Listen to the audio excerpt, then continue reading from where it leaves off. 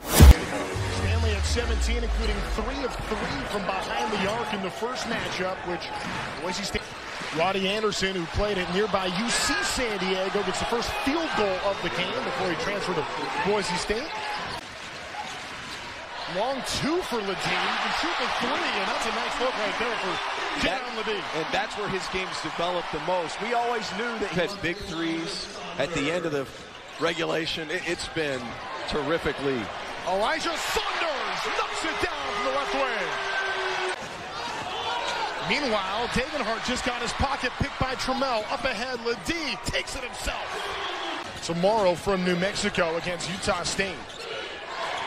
Agbo inside. And if Boise's going to win this game, they to come off. Anderson now from the left wing. Got it.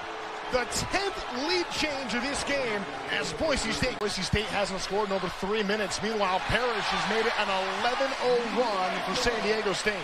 Bit of it. Take your time and knock it through. Degenhart's ready, and he knocks it down. Exhibit 8, Trent Rush. Are the next wave of talent for San Diego State basketball. Meanwhile, Agbo's three connects. Rice off the corner. Agbo now. Six seconds. Morton. He doesn't want the ball there. Neither does Max Rice, who heaves from midcourt and gets it. Max Rice, are you kidding me? Here's the thing. The question is, do you foul? I say no. They don't shoot it well enough. Trammell does shoot the three and hits the three.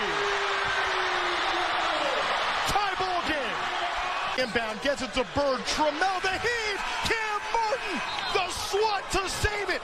And the Broncos go on the road and take down San Diego State.